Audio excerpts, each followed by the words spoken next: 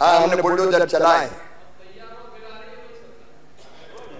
हाँ हमने चलाए बुलडोजर। गोविंद सिंह जी कह रहे हैं कि भाजपा कार्यकर्ताओं पर कार्रवाई नहीं की। कार्रवाई जब आपकी सरकार थी तब हुई थी गोविंद सिंह जी।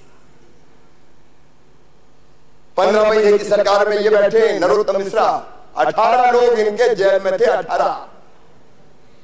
जो आसपास थे अठारह जेल में थे खानदान के खानदान का तबादला कर दिया गया। हमारे पार्षद मीणा थे उनकी साठ दुकानें बुलडोजर चला के तोड़ दी गई। राजू मीणा इछावर के मंडल अध्यक्ष के स्कूल को बुलडोजर चलाया गया। भूपेंद्र सिंह जी बैठे, इनकी होटल नापी गई।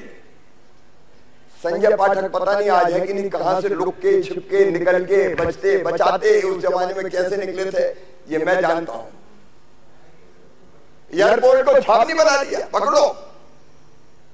नापो मारो तोड़ो। ये राज अगर दिया था तो पंद्रह महीने की कमलनाथ जी की सरकार ने दिया था। हाँ हमने बुलडोजर चलाए। हाँ हमने चलाए बुलडोजर।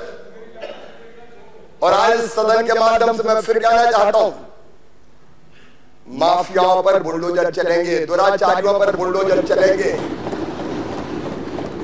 गुंडागर्दी करने वालों पर बुलडोजर चलेंगे।